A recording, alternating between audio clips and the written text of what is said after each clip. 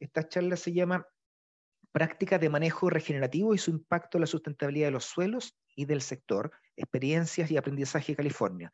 La, la charla, perdón, la presenta María Cristina Lascano, ella es PhD de la Universidad de California, es profesora asistente en el Departamento de Recursos Terrestres e Hídricos de UC Davis.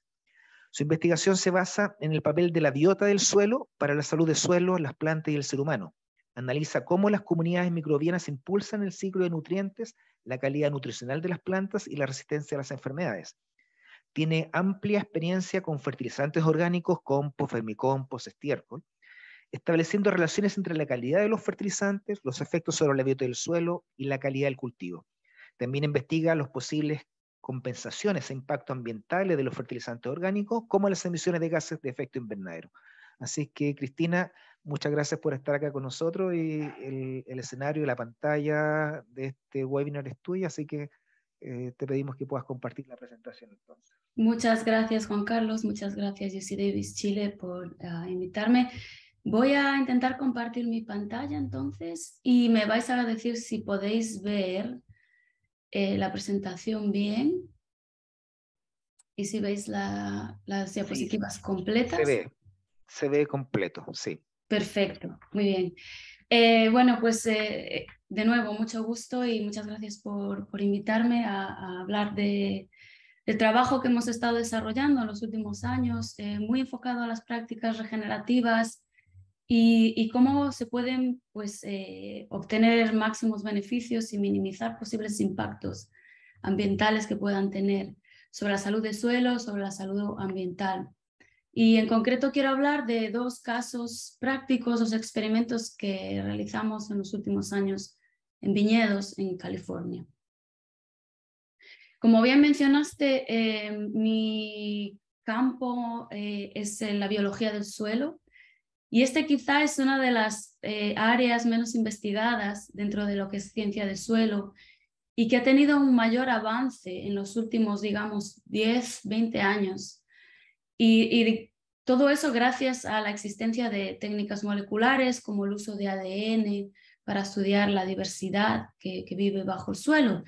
Y entonces ahora mismo sabemos ya que un 25% de la diversidad a nivel planetario eh, se encuentra en el suelo y, que en el suelo pues viven tanto organismos microscópicos como hongos, bacterias, hasta organismos macroscópicos como por ejemplo las lombrices, los topos, etc.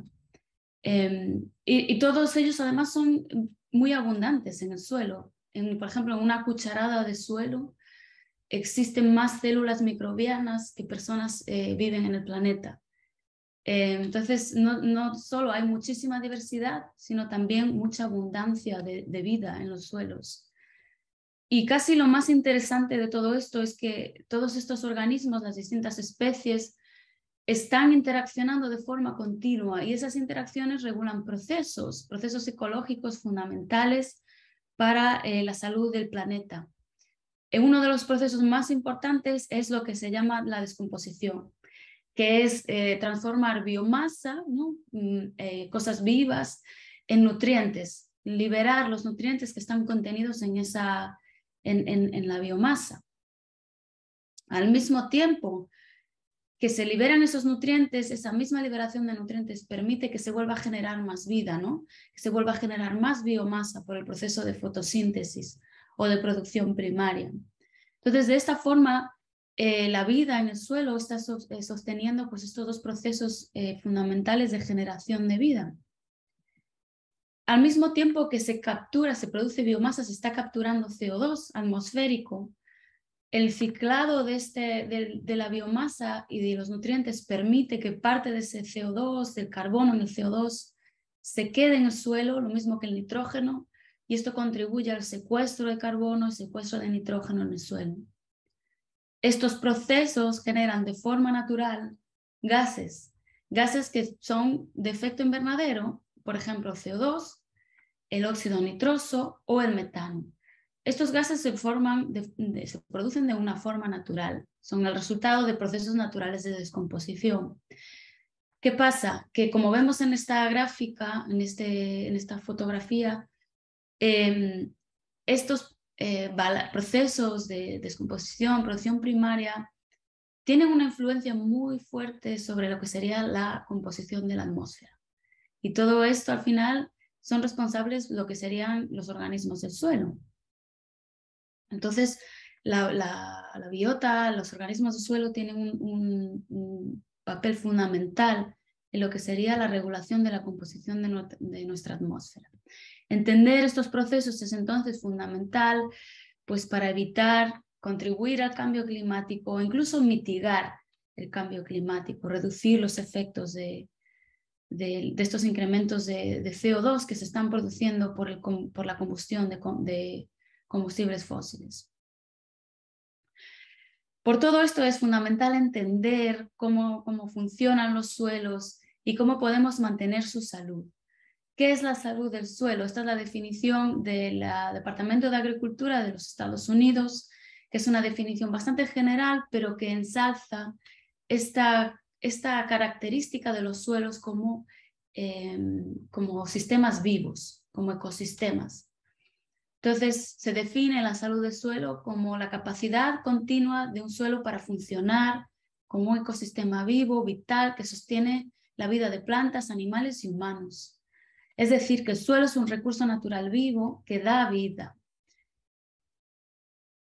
Hay una serie de procesos y propiedades que podemos esperar de un suelo saludable. Si todo funciona bien, pues un suelo saludable en el contexto agronómico, ¿no? de producción agrícola, pues no solo proporciona rendimientos altos, como vemos aquí en verde, sino que también sería capaz de mantener una cierta calidad en los cultivos, calidad nutricional, Además de eso, esperamos de un suelo saludable que tenga alta diversidad y actividad microbiana, es decir, que mantenga vida, esa vida que existe en el suelo esté activa, que no contribuya al cambio climático, sino que al revés eh, mitigue los efectos del cambio climático, eh, reduciendo las emisiones de, efecto de gases de efecto invernadero, almacenando carbono, que retenga y recicle nutrientes, que proporcione nutrientes para las plantas y después también que permita al suelo tanto acumular agua, retener agua, como una buena infiltración y drenaje. Y esto es muy importante en zonas semiáridas, como son, por ejemplo, California, como son áreas también de Chile, las que estamos experimentando pues, sequías bastante fuertes. Entonces, en base a esto, un suelo saludable podría al mismo tiempo mantener todas estas funciones, si todo va bien. ¿Qué hacer entonces para mantener la salud del suelo? Una vez que sabemos la importancia de la salud del suelo, ¿qué podemos hacer para mantenerla? Existen tres principios fundamentales. Uno es el incrementar la materia orgánica. Muchas de estas funciones que, de las que he hablado ahora eh, realmente dependen de forma muy directa de la materia orgánica en el suelo, que proporciona estructura, ayuda a la retención de agua, mantiene la biodiversidad, proporciona nutrientes, etc. Entonces, la materia orgánica del suelo es como un, es un pilar fundamental de la salud del suelo. Otro principio sería el reducir la alteración del suelo, minimizar los impactos sobre el suelo que puedan alterar pues, su estructura, incrementar la descomposición de la materia orgánica, etc. Aquí estaríamos hablando principalmente de lo que es la cero labranza.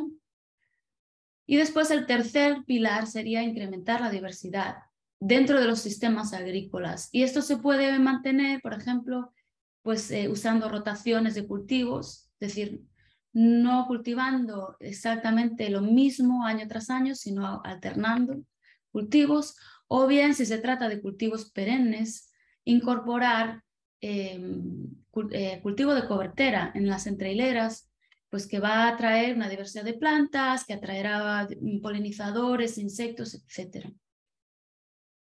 Bien, hay muchos eh, sistemas agrícolas, mm, sistemas de producción que incorporan algunas de estas prácticas, em, pero lo que hace diferente a lo que es la agricultura regenerativa, de lo que podría ser la agricultura orgánica, ecológica, sustentable, es que la agricultura regenerativa tiene como objetivo principal el incrementar la salud del suelo y la diversidad en tierras agrícolas, a la vez que se mantiene, por supuesto, la producción de alimentos nutritivos de forma rentable.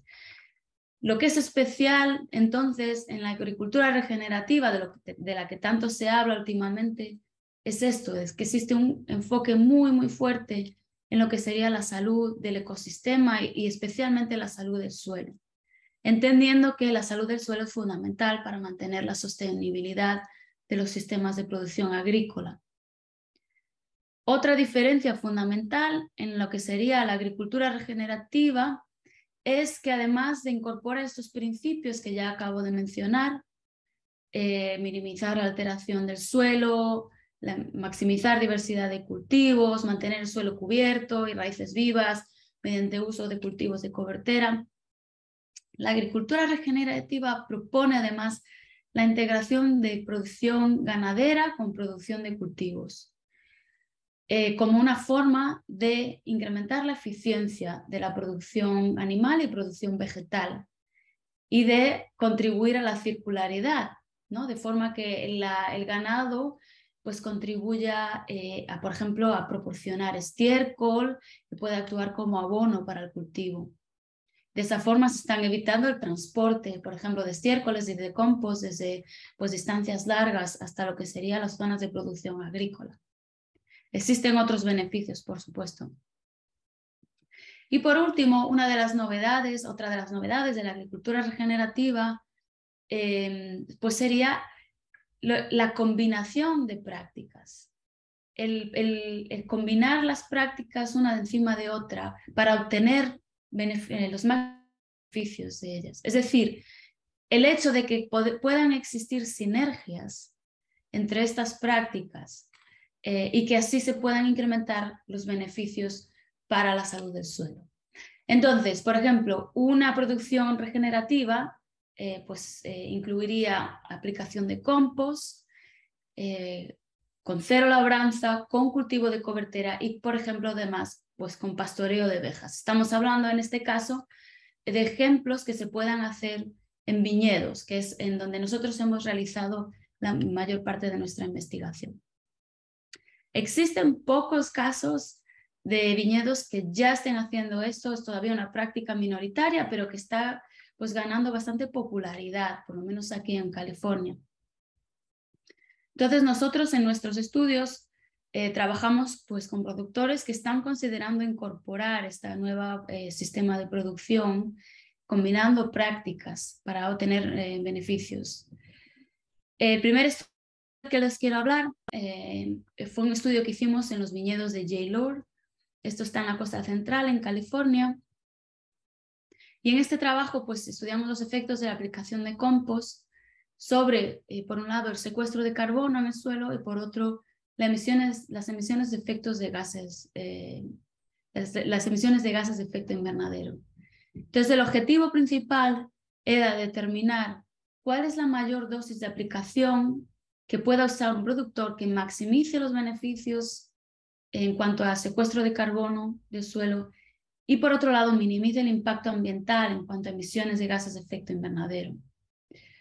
Este fue un trabajo que estuvo apoyado con fondos del Estado de California, del Departamento de Agricultura del Estado de California, que fue la tesis de máster de Connie Wong, que, podéis ver aquí en esta, en esta foto. Entonces, ¿cuál es la, la razón para, para estudiar este balance entre carbono, secuestro de carbono y gases de efecto invernadero? Como ya mencioné, los suelos son fuentes naturales de gases de efecto invernadero. Entonces, estos procesos se, resultan de forma natural de los procesos de descomposición de la materia orgánica. ¿Qué pasa? Que si nosotros añadimos materia orgánica en mayor cantidad a los suelos, es posible que por una parte estemos promoviendo el secuestro de carbono y de nitrógeno, pero además estemos acelerando esos procesos que eh, promueven la liberación de gases de efecto invernadero, de eh, liberación de CO2 o de óxido nitroso. Entonces, esto es lo que quisimos estudiar en este trabajo. Aquí os muestro un poco el diseño de experimento que aplicamos en este viñedo. teníamos cuatro dosis de aplicación de compost, lo que serían 0, 2, 4 y 6 toneladas por acre, equivalente a 0, 4,5, 9 y 13,5 toneladas por hectárea. El compost em, estaba, se produjo con una mezcla de estiércol y residuos vegetales. Se lo compramos a un productor comercial de la zona. Tenía una relación de carbono-nitrógeno de 10 y luego cambió un poco en, en 2009, 2019. Este fue un estudio que se hizo durante dos años. Aplicamos compost en dos años eh, seguidos. Y em, como podéis ver aquí, los tratamientos que fueron nuestras dosis de aplicación de compost eh, se distribuyeron en cuatro bloques experimentales y dentro de cada bloque experimental se distribuyeron al azar. Es decir, en, color azul, por ejemplo, tendríamos aquí una parcela con cero toneladas por acre, después tendríamos una con dos toneladas por acre, 4 toneladas por acre y en naranja 6 toneladas por acre. Esto sería un poco como una vista aérea de lo que serían las parcelas experimentales. El compost se aplicó a todo lo que sería el viñedo, en, tanto debajo de la vid como en la entrehilera. Eh, se esparció en la superficie del suelo y se hizo en, lo que sería otoño después de la cosecha y antes de las primeras lluvias.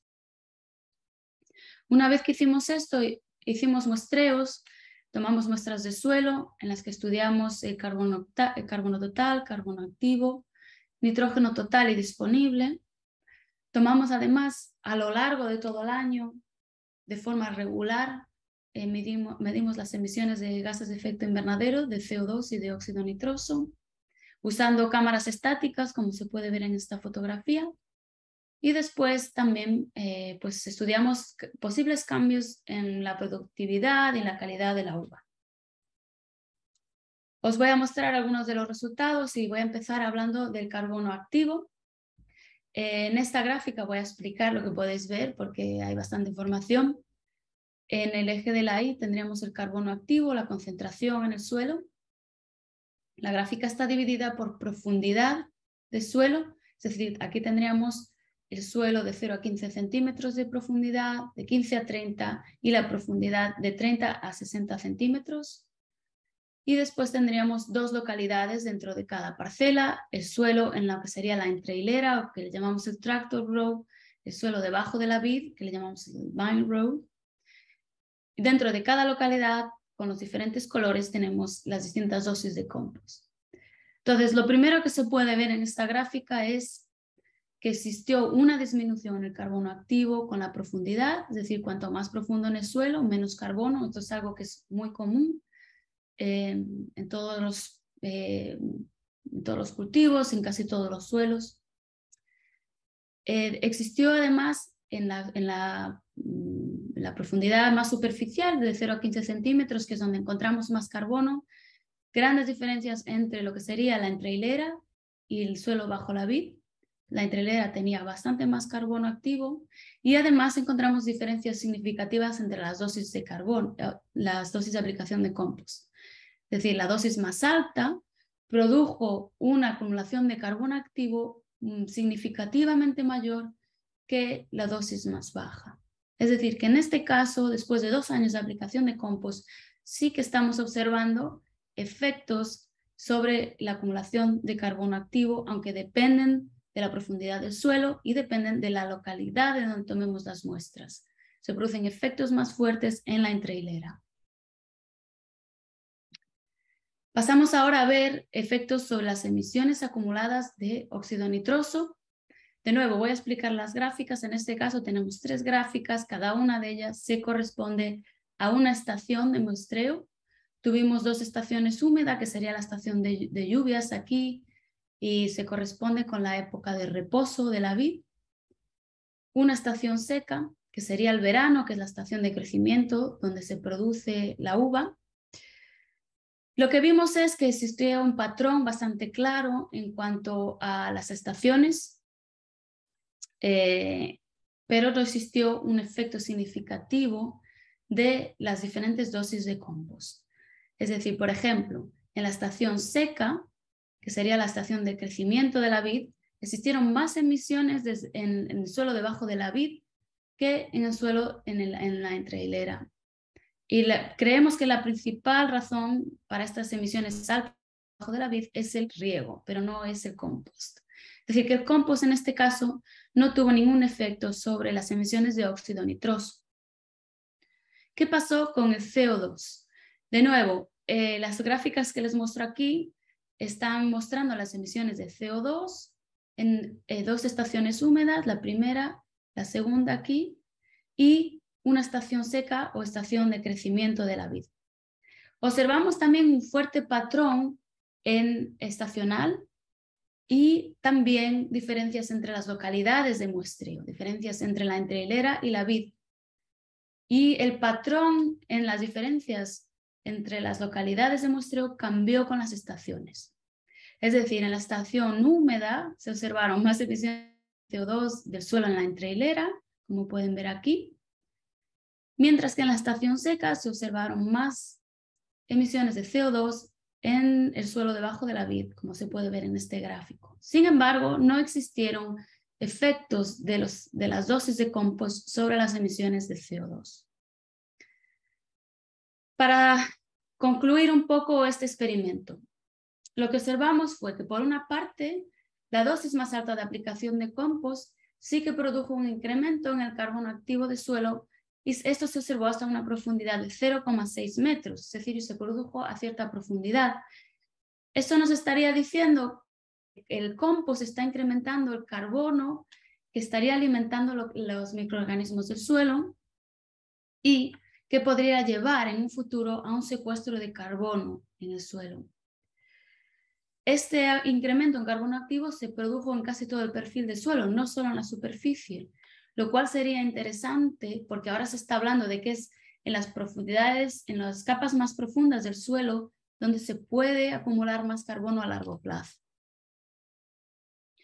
Por otra parte, no se observaron diferencias en las dosis de aplicación en, las emisiones de gases de efecto invernadero, lo que nos estaría diciendo que no existe una desventaja o, daño ambiental eh, asociada a utilizar dosis altas de compost. Además, observamos diferencias significativas entre las dos localidades que mostramos dentro de cada parcela, el suelo bajo la vid y el suelo en la entrehilera. Eh, observamos, de hecho, más secuestro de carbono en el suelo de la entrehilera. La principal diferencia o una de las principales diferencias entre el suelo en la entrehilera y el suelo debajo de la vid es que existe cultivo de cobertera. Entonces, eh, eh, creemos que puede existir una sinergia entre el compost que se está aplicando y el cultivo de cobertera que lleve a un mayor secuestro de carbono del que sería esperable sin el cultivo de cobertera. Es decir, que combinar esas dos prácticas nos estaría llevando a mayores beneficios ambientales. De aquí pasamos al siguiente experimento en el que testamos un poco cuál sería entonces los beneficios de combinar esas prácticas, cultivo de cobertera con compost, añadiendo además cero labranza y pastoreo de ovejas. Esto es un estudio que realizamos casi de forma paralela en otro viñedo de la misma región de California, de la costa central, de Tablas Creek, eh, perdón, Tablas Creek Vineyard. Estos son productores regenerativos de hecho, fue el primer viñedo en los Estados Unidos en obtener la certificación Regenerative Organic Certified. Em, y llevan usando pastoreo de ovejas en sus viñedos pues bastante tiempo ya. Y de hecho, esta fue una, de las razones por la que nos contactaron, eh, porque querían saber cómo el uso de, de ovejas, como un poco para manejar el cultivo de cobertera, está funcionando para la salud del suelo en su finca. Otra particularidad de esta finca es que ellos, así como incorporan compost, cultivo de cobertera y pastoreo de ovejas, no, ellos no usan cero labranza. De hecho, ellos usan cierto nivel de labranza porque tienen suelos muy arcillosos que de otra forma se harían demasiado duros y difíciles de trabajar y, y disminuirían la infiltración de agua. Entonces, esta es una de las razones que ellos dan para no usar la cero labranza. Entonces, en el experimento, un poco lo que queríamos hacer es comprobar los beneficios de la cero labranza y el pastoreo sobre, sobre la salud del suelo. ¿Cuáles serían los posibles beneficios asociados al pastoreo? a la labranza o la cero labranza. El pastoreo, por un lado, permite un poco el manejo de la vegetación, del, cultivo de cobertera, y sería un manejo low cost, en comparación pues, con lo que sería el uso de tractores, ¿no? Es además una fuente de nitrógeno para el cultivo, pues mediante el estiércol, que puede estimular la actividad y diversidad microbiana, aunque puede llevar a problemas de compactación y emisiones de gases de efecto invernadero.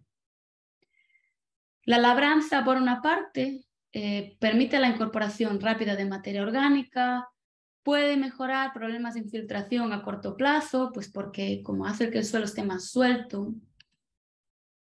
Sin embargo, eh, pues la labranza año tras año, si es muy intensa, puede llegar a destruir la estructura del suelo, lo cual produce pérdida de carbono y además conlleva pues, un cierto eh, consumo de combustibles fósiles en el uso de tractores.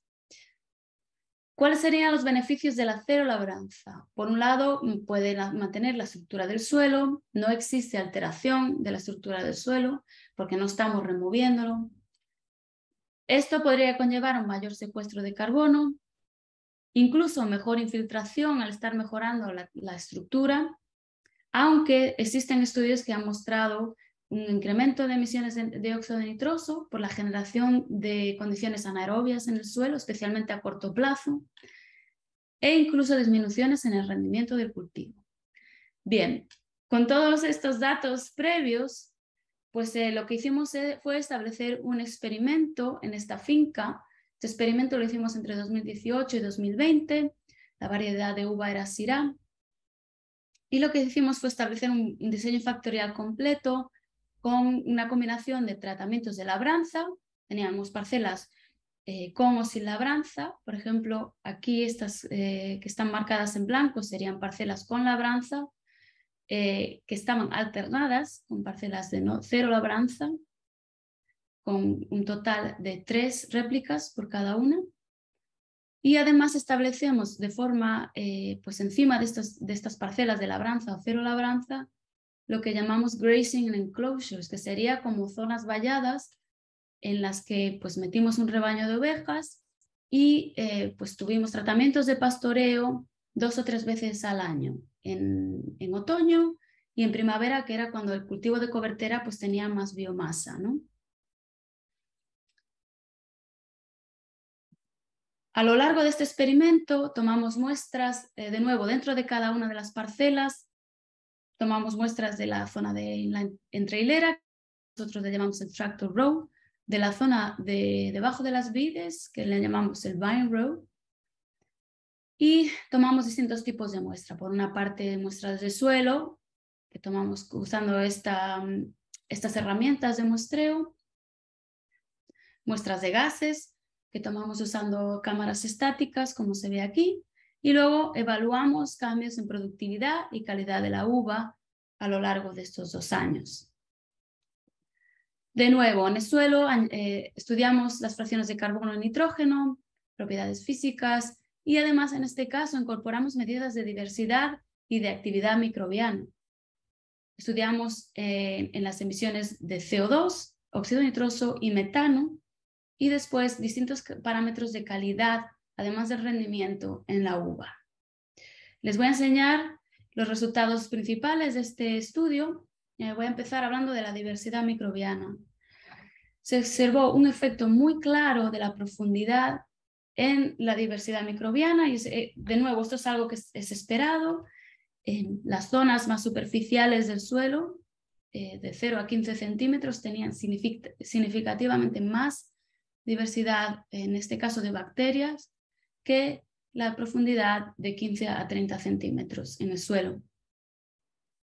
Además, se observó un incremento significativo en la diversidad bacteriana en, parcelas de cero labranza, que, no tenían pastoreo y sobre todo en la entrehilera en comparación con la, eh, la zona del suelo debajo de la vid. Aquí vemos en esta gráfica lo que serían parcelas sometidas a pastoreo o no pastoreo y en distintos colores tendríamos los tratamientos de labranza.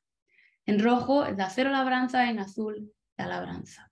Lo que vemos es que en las parcelas de no pastoreo y con cero labranza existió mucha más diversidad bacteriana que en las parcelas con pastoreo o con labranza.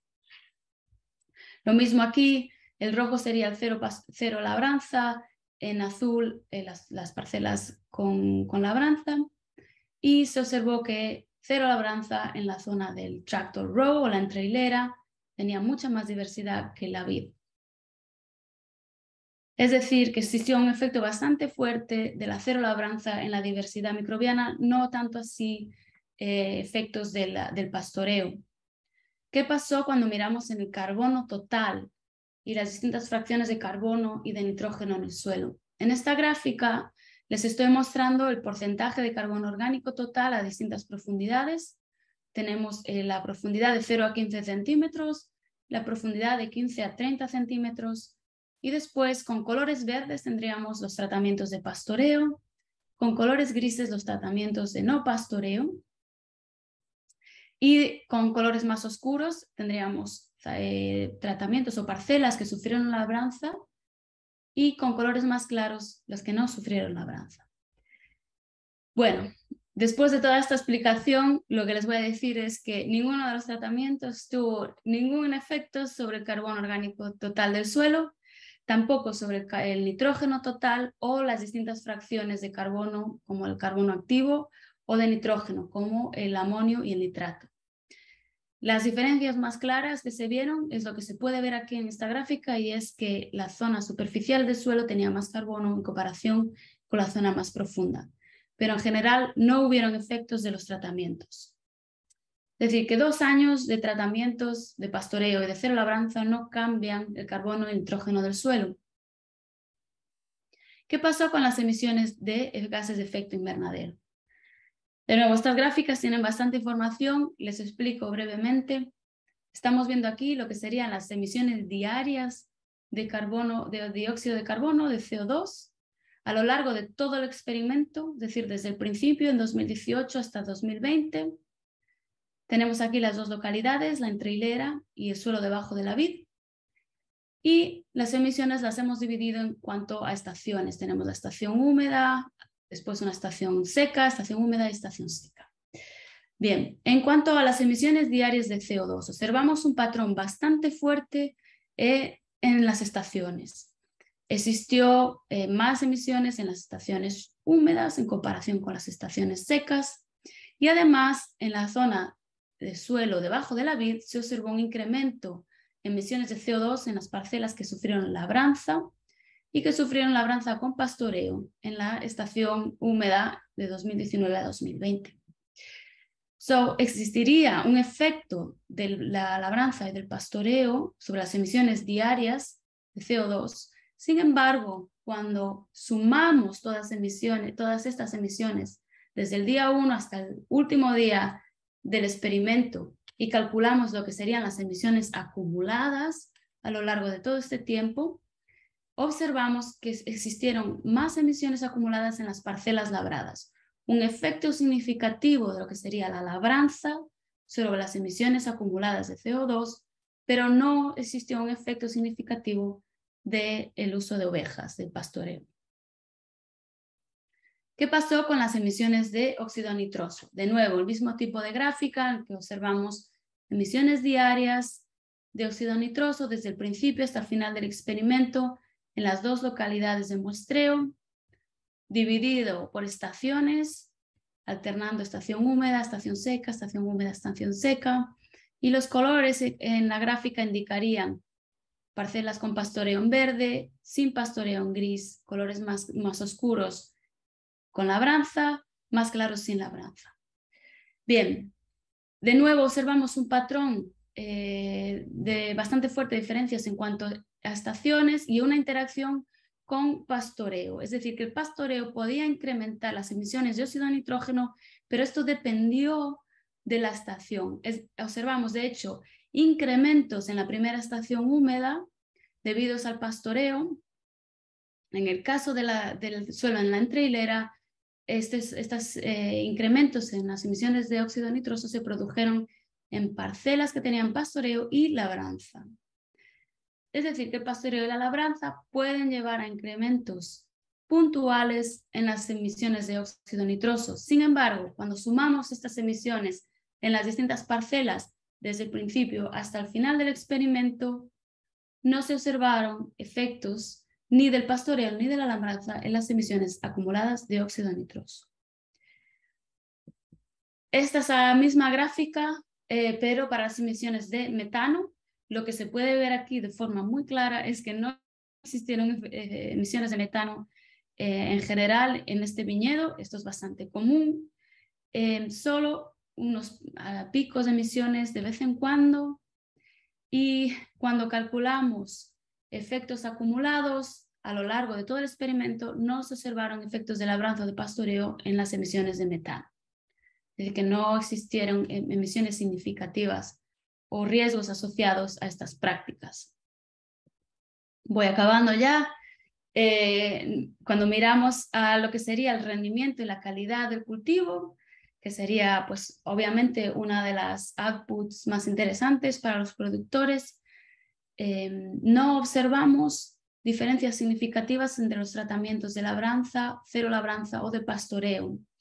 Es decir, que dos años después de la aplicación de estos tratamientos, eh, los, no se produjeron cambios ni en la calidad ni en la, en la productividad total. Como conclusión, eh, las prácticas regenerativas, en este caso el pastoreo y la cero labranza, no incrementaron el contenido de carbono total del suelo, lo cual quiere decir que a corto plazo, en dos años, no existen beneficios por lo que sería mitigación del cambio climático y es posible que haga falta más tiempo para ver cambios significativos. Tampoco se vieron cambios en el contenido de nitrógeno del suelo. Em, aunque sí se observaron beneficios en cuanto a las emisiones de gases de efecto invernadero.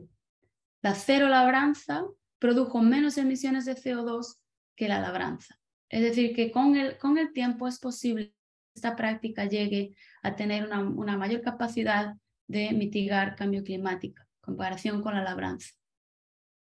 Además, la cero labranza aumentó de forma muy clara la, diversidad microbiana en el suelo, lo cual sería otro, otro beneficio. Y por último, las prácticas regenerativas fueron capaces de mantener el rendimiento y la calidad del cultivo. Es decir, que cuando evaluamos de forma un poco global, volviendo a, los procesos y propiedades que se esperan de un suelo saludable, las prácticas regenerativas pueden tener beneficios claros para estas funciones. Sin embargo, pues eh, vemos efectos bastante variables en, estos experimentos que hemos hecho. Tanto la magnitud como el tipo de beneficios que se observan en los distintos indicadores de salud del suelo, pues parecen ser bastante variables. Una de las cosas que pensamos que puede estar influenciando esta variabilidad, es decir, que se observen más o menos beneficios con el mismo tipo de práctica, es el tipo de suelo. Sabemos ya que, eh, por ejemplo, el incremento de materia orgánica pues depende muchísimo de propiedades del suelo como son la textura. Suelos que tienen textura más arcillosa, pues pueden acumular materia orgánica de forma más rápida comparada con suelos que tienen una textura arenosa. Entonces, esto ya estaría determinando pues distintas expectativas que tendríamos que tener de distintos tipos de suelo. Existe además una diferencia en las tasas de acumulación de materia orgánica que está muy directamente asociada pues, con el clima, en concreto con la temperatura y con la precipitación. Y este es, por ejemplo, un mapa de acumulación de carbono en Estados Unidos. Lo que vemos es que los colores más oscuros que indicarían mayor acumulación de carbono están en las latitudes más, más del norte, donde hace más frío y existe un poco más mayor precipitación. Sin embargo, zonas semiáridas como California pues se caracterizan pues, por menores eh, contenidos de materia orgánica. Es un poco lo que puede estar pasando a lo mejor con suelos eh, en Chile. Existe un, efecto bastante fuerte de la temperatura y la precipitación sobre la acumulación de carbono. Es decir, que no se puede esperar lo mismo de, estas prácticas en una zona del norte o una zona del sur. Y ahora mismo acabamos de empezar un proyecto en el que estamos evaluando prácticas regenerativas en un transecto edafoclimático en la costa oeste, de norte a sur de los Estados Unidos, con apoyo pues, del Estado de California, del um, Foundation for Food and Agricultural Research y uh, Jackson Family Wines. Bueno, con esto pues eh, lo dejo aquí porque creo que ya me ha alargado bastante. Eh, quería agradecerles su atención y estoy aquí pues para cualquier pregunta que, tengan.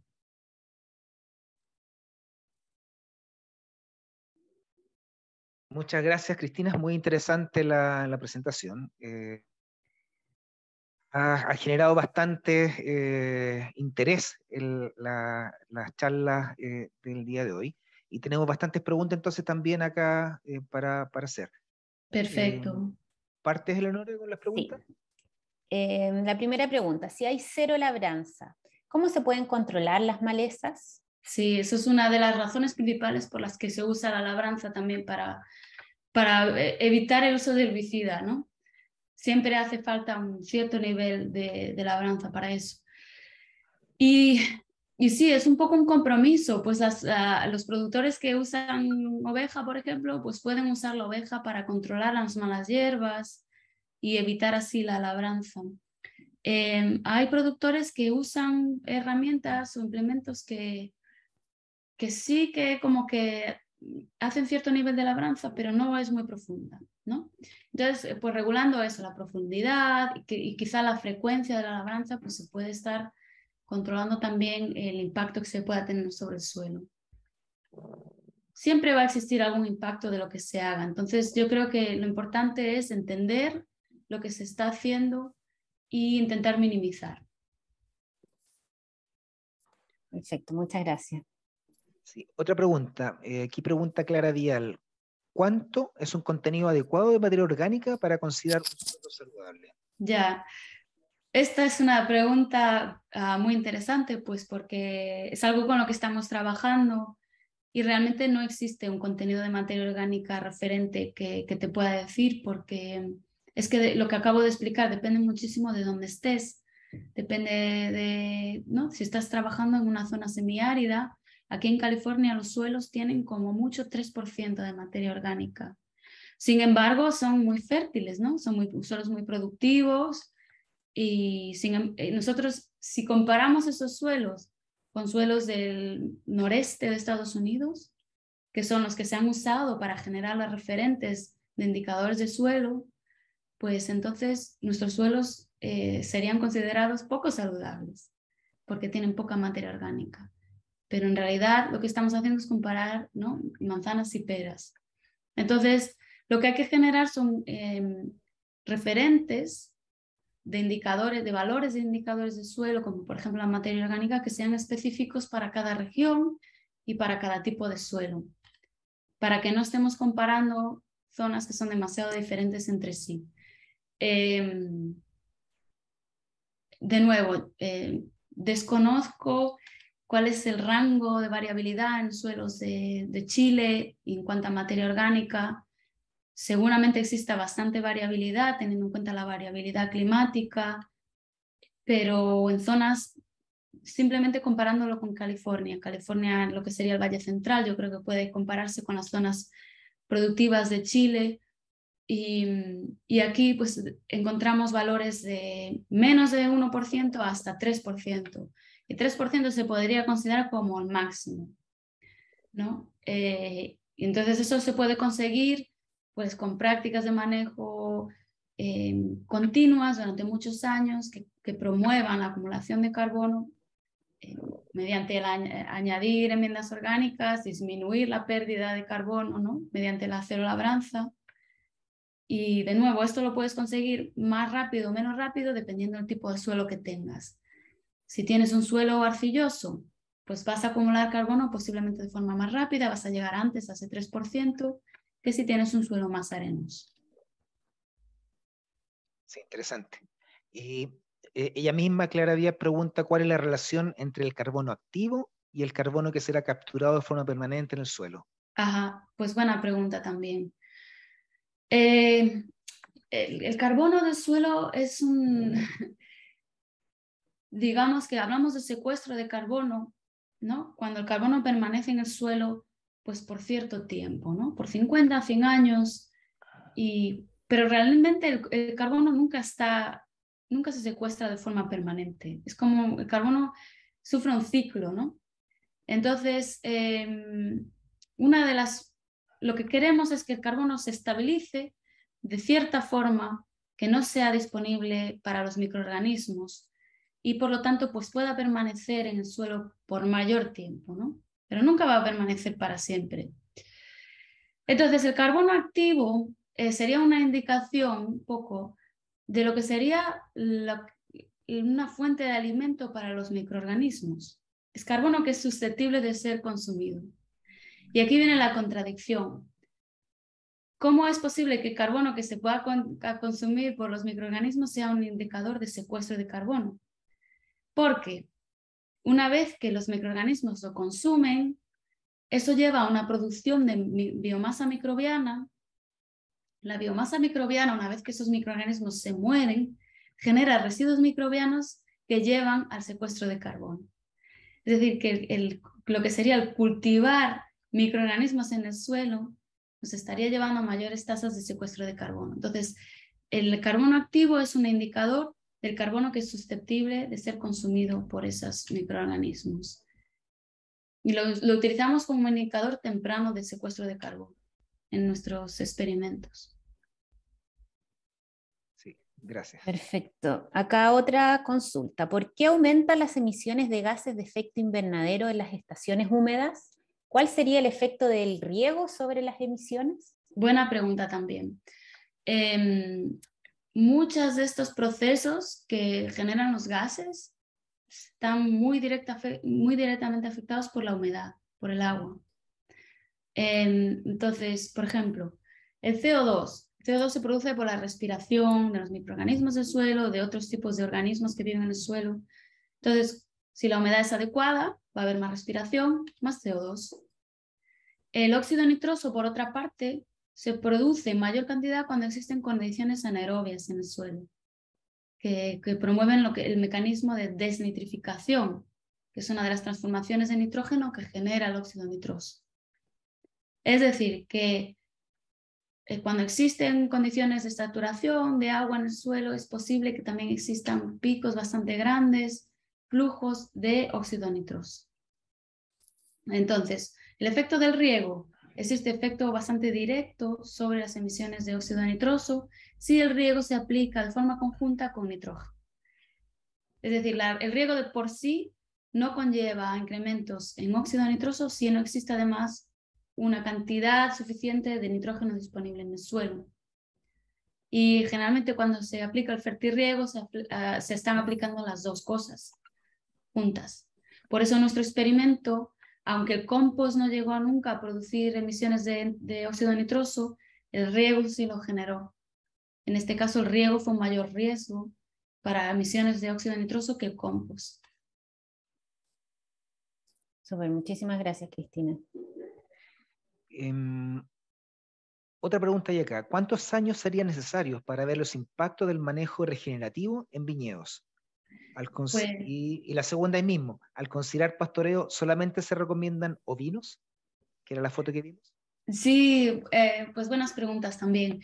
En cuanto a los años, eh, yo creo que no existe pues un número que te pueda decir, pero lo que sí se ha visto en la literatura es que por lo menos cuatro o cinco años sí que hacen falta para empezar a ver cambios. Em, es decir, que sería algo medio largo plazo. Mm, es, una inversión para el productor. Y mm, después, el, en cuanto al pastoreo, pues ovinos sí se usan, en este caso en el, viñedo en Tablas Creek también usan llamas, eh, usan burros, pues un poco lo que le funciona a cada productor, ¿no? Y también otra cosa es que incorpora una dimensión nueva, ¿no?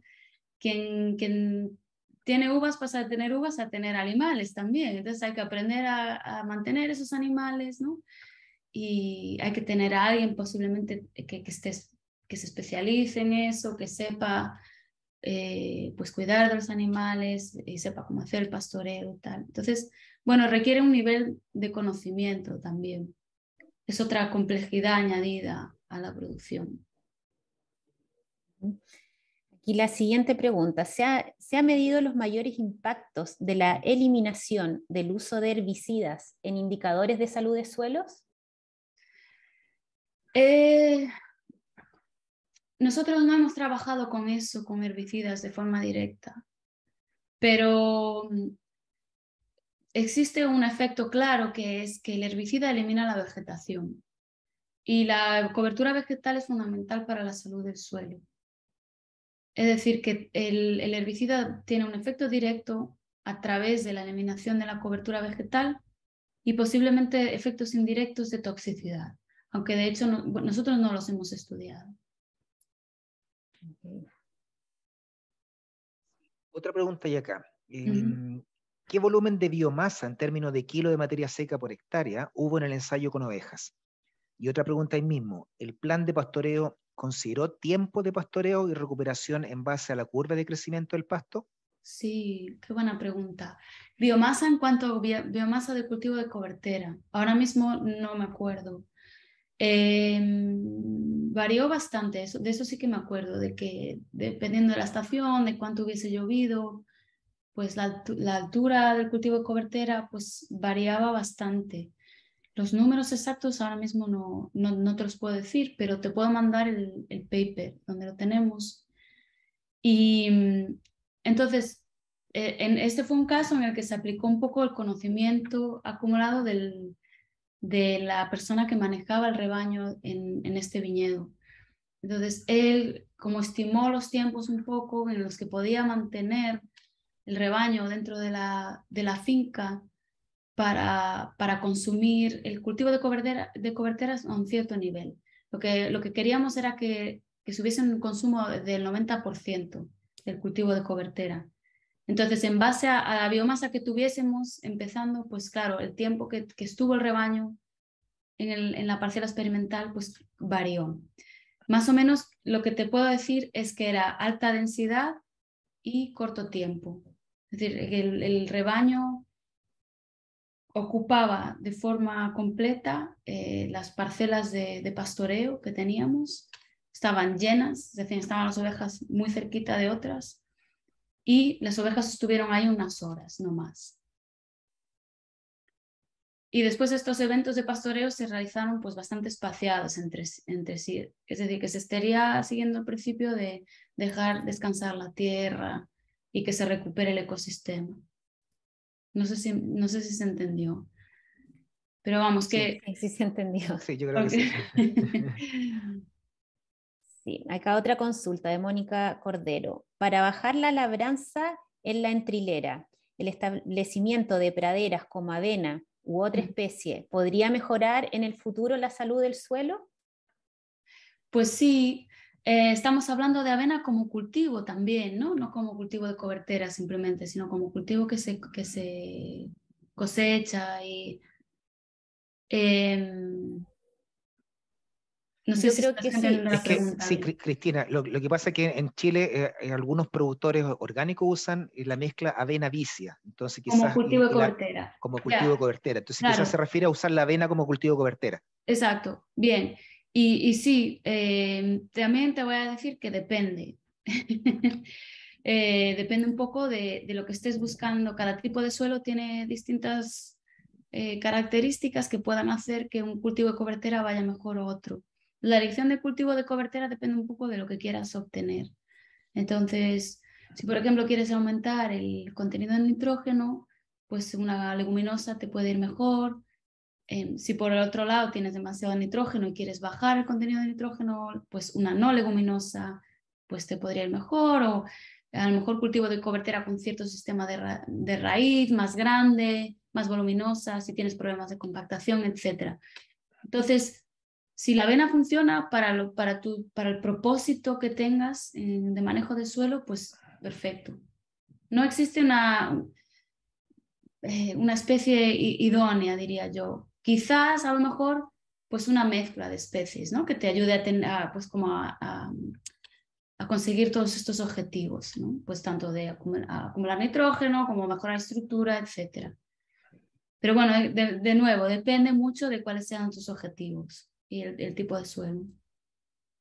Sí, gracias. Sí. Bueno, ahí ella indicaba que justamente puso la cotación como cultivo cobertera, así que sí. Ah, perfecto. Gracias, esa era, sí. Hay otra pregunta de José Miguel Jopia. Eh, dice, gracias, estas prácticas son usadas desde hace 100 años por la agricultura biodinámica. sí. En California también hay bastante agricultura biodinámica. Sí. Pero además considera el movimiento cósmico como factor de influencia en los seres vivos. Ustedes lo vieron en el cambio en la actividad microbiana en distintas épocas del año que está relacionado con el movimiento de la Tierra en relación al Sol. ¿Crees que se podría ensayar estos parámetros según el movimiento de la Luna? Mira, a mí eso es algo que me fascina, porque es verdad que existe un movimiento biodinámico bastante fuerte. Este viñedo, el segundo que os enseñé, este experimento es biodinámico y es uno de los eh, más antiguos en California. Eh, en este caso en particular no estudiamos las prácticas biodinámicas directamente, pero es algo que he estado pensando bastante también en conversación con otros productores de California, porque sí existen eh, estudios, publicaciones, se hicieron en Suiza hace ya bastantes años, comparaban, eh, no era cultivo de viñedo, era creo que otro tipo de rotación, eh, comparaban producción orgánica con biodinámica y sí veían efectos bastante claros sobre la biodiversidad del suelo. Em, es decir, que algo pasa que, que se está haciendo algo distinto. Em, me interesaría mucho estudiarlo. Ahora, que si es el movimiento del sol, la luna y eso, pues es, es difícil de saber es también bastante probable que toda la gente que está en el movimiento, los productores del movimiento biodinámico, pues eh, prestan mucha atención ¿no? al, viñedo y a lo que pasa en el viñedo. Y posiblemente por eso, pues también estén dedicando más tiempo, más cuidados a, las prácticas y al ecosistema. Entonces, pues no sé si es por, es por eso, por el cariño que se le pone o por el ciclo de la luna, del sol, pero bueno, es posible que sí se estén haciendo las cosas de forma mejor. Súper, Cristina. Em, otra consulta. ¿Se ha evaluado la carga máxima de animales por hectárea o acres en viñedos en indicadores de suelo? Ajá, pues eh, no, que yo sepa, no. Lo que estamos haciendo nosotros si bien es algo que los productores llevan haciendo ya tiempo, pues tampoco está muy estudiado. Entonces, cada productor tiene su método, ¿no? Y su densidad y su receta. Mm, pero claro, es posible pues, que ellos también necesiten esa información, pero no existe. No, se han hecho eh, estudios de la densidad de pastoreo pues, en otros sistemas, no en viñedos. no, no todavía. Pero bueno, seguramente es algo que debamos hacer en algún momento. Okay.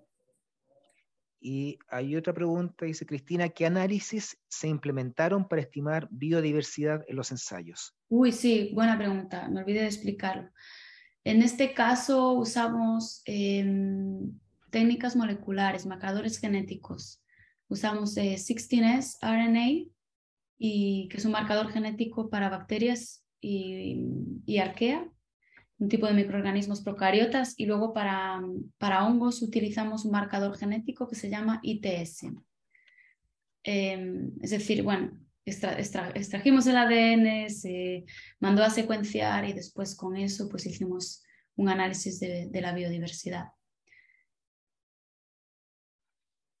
muchas gracias, Cristina. Eh, muchas gracias también a todos quienes, quienes respondieron.